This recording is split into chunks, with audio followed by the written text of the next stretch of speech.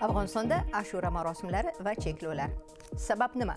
Xavfsizlikni ta'minlash yoda tazyiq bbc o'zbekda so'z bugun shu haqda.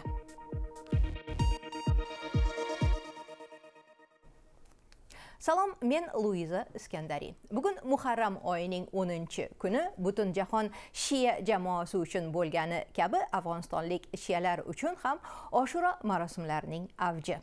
Ammo tolibon hukumati bir necha kun avval mamlakat bo'ylab oshura marosimlarini o'tkazish bo'yicha maxsus ko'rsatma chiqargandi. Unda bu marosimlarga sun'iylar da'vat qilinmasligi va marosimlarni o'tkazish uch kundan oshmasligi kerakligi ta'kidlangan. Ko'rsatma tolibon hukumatining bir qator rasmiylari va amri bama'ruf va nahiy azmunkar vazirligi imzosi bilan tarqatilgan. Shuningdek ko'rsatmada shiya jamoasi nomidan deya aytilgan ba'zi shaxslar imzosi ham borligi aytiladi. Ana shu manzarada bugun poytaxt kobulda ashura marosimlari qanday ko'rinishda o'tmoqda? Bbc xabarnigori ismoil saodat kobuldan. تدابیر شدید امنیتی در اطراف تکیهخانه ها و مساجد oshura marosimi davom etayotgan takyaxonalar va masjidlar atrofida qattiq xavfsizlik chora tadbirlari o'rnatilgan har xil turdagi qurol ko'targan tolibon odamlari hatto zirehli tonklarni yo'llarda ko'rasiz وسایط زرهی در محلات جابجا شده بودند xavfsizlikni ta'minlashda qurolli va qurolsiz ko'ngillilar ham ishtirok etishgan joriy yilda oshiro marosimi masjidlar va takkaxonalarda cheklangan. Shiya jamiyatiga qarshi doish guruhining xuroson bo'limi tomonidan doimiy ravishda hujum qilinayotganini hisobga olsak muharram oyida bu hujumlar ortishi borasida jiddiy tashvishlar kuchayadi. Tolibon ba'zi shiya mazhabli aholi vakillari bilan shartnoma imzolanganini aytadi. marosimni masjidlar va takkaxonalarda o'tkazish kerakligi shiyalar yashaydigan joylardan boshqa joylardan motam bayroqlari ko'tarilmasligi marosim jarayoni lodispiker yo ovoz kuchaytirgichlar orqali nashr qilinmaslikdan iborat. Shiya jamoasi bu turdagi amallarni haddan tashqari cheklov deb biladi. Ular oshira marosimini yaxshi o'tkaza olmayotganlarini aytishadi.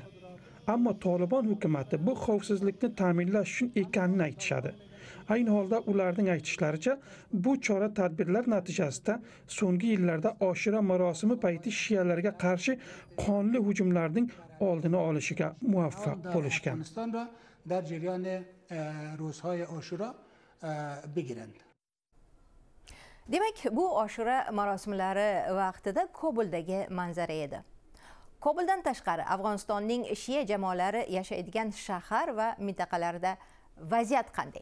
Va ular tolibon ko'rsatmalariga qanday rioya qilishmoqda yoki uni qanday talqin qilishmoqda? Bu borada suhbat uchun vaziyatni kuzatib turgan hamkasbim fozilahmad yolg'uz hozir men bilan studiyada. Fozilahmad demak bu ko'rsatma kobuldan tashqari mintaqalarda qanday talqin qilinmoqda? Buni endi sizga ham ma'lumki bu e, shia mazhabli e, aholi nafaqat kobul balki afg'onistonning boshqa yirik e, viloyatlari jumladan balx va E, hirotda ham istiqomat qiladi.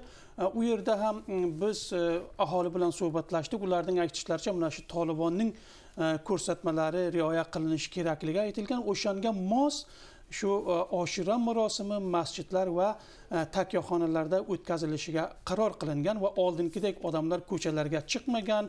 E, shuningdek to'rt yo'llarda misol e, shu bayroqlar bilan bezatilmagan shu to'rt yo'llar va umuman olganda mana shu bu farqli bo'lib o'tayotganini aytyaptilar lekin biz suhbat qilgan faollar buni mm, haddan tashqari cheklov deyishyapti va bundan norozilik bildiryaptilar mana demak faollar buni cheklov sifatida qabul qilishyapti ekan. Lekin toliblarning o'zlari buni cheklov emas shiyalarning o'zlarining xavfsizligini ta'minlash uchun ko'rilayotgan choralar deya taqdim qilishgan shundaymi? Endi albattaki buni endi e, shu hozir kobulda bo'lgan shu e, shiyalarning shu e, faollaridan biri ham bir kun oldin shu ijtimoiy tarmoqlarda bu tolibon ko'rsatmalari rioya qilinishi kerak bu xavfsizlik uchun o'ta muhim degan fikrni bildirdi. Lekin buni tashqarida hayot o'tkazib kelayotgan bir qator e, shu siyosatchilar albattaki bunga jiddiy munosabat bildirdi va bu nafaqat xavfsizlikni ta'min qilish emas balki bu ko'proq shu mardimning e, shu mazhabiy erkinlikni olish va ularga mahdudiyat kiritish cheklov kiritish va bunday davom etsa buning oqibati yomon bo'lishi mumkin degan fikrlarni ham bildirdi. Mana siz e, chetda yashayotgan e, siyosatchilarni tilga oldingiz. Agarda boshqa davlatlarga qaraydigan bo'lsak jumladan qo'shni pokistonga u yerda oshiro marosimlari qanday fazoda o'tyapti? Endi albattaki bu e, oshira marosimini qo'shni e, davlatlar dedingiz eron pokiston va boshqa bir qator davlatlarda e, o'tkazilyapti pokistondan olgan xabarlarga ko'ra va bizga kelgan xabarlarga bu yerda ham qattiq xavfsizlik chora tadbirlari o'rnatilgan. Ayniqsa pokistonning shu yirik shaharlarida karochida shu yo'llar yopilgan yo'llarda qo'shimcha kuchlar yuborilgan. Keyin ba'zi bir hududlarda mobil va telefon xizmatlari ishlamay e, qolgani aytilgan lekin amniyatiy kuchlar buning hammasi xavfsizlikni to'la ta'minlash uchun bo'lganini aytganlar. Endi buni eng tinch deb e, hisob e, hisobga olmish mana ummonda ham albattaki bu oshira marosimi o'rnatilgan. U yerda shu ummon markazidagi masjidlarda marosimni o'tkazayotgan bir paytda ularga qarshi o'q otilgan natijada e, to'rt kishi mm, qurbon bo'lgani aytilyapti. Ummon polisi bu xususda e, shu e, tadqiqot ishlari olib borayotganini aytgan va hozirga qadar faqat bir kishi bu hujumda ishtirok etgani aniqlangan. Demak e, toliblar e, aytishyaptiki biz xavfsizlikni ta'minlash yo'lida harakat qilyapmiz. Ular shunga muvaffaq bo'lishganmi? Umuman oxirgi vaqtlardagi vaziyatga nazar tashlasak. Endi buni oldin e, shu kobuldagi muxbirimizning suhbatlarini eshitdingiz. Tolibon buni ochiq aytyaptiki biz mana shu xavfsizlikni chora tadbirlari sabab bu shia oshira marosim paytida shu bo'layotgan qonli hujumlarni oldigini olishiga qodir bo'ldik deyapti. Buni biz e, nafaqat kobul balki boshqa viloyatlardagi faollar bilan ham suhbatlashdik. Ularning aytishlaricha hozirga qadar qandaydir e, jiddiy bir e, xavfsizlik muammosi yuz bermagan. Mm, katta rahmat. Hamkasbim fozil ahmad yolg'iz edi. Bbcda afg'onistondagi ashura marosimlari va ularga nisbatan cheklovlar haqida tahlilimiz edi.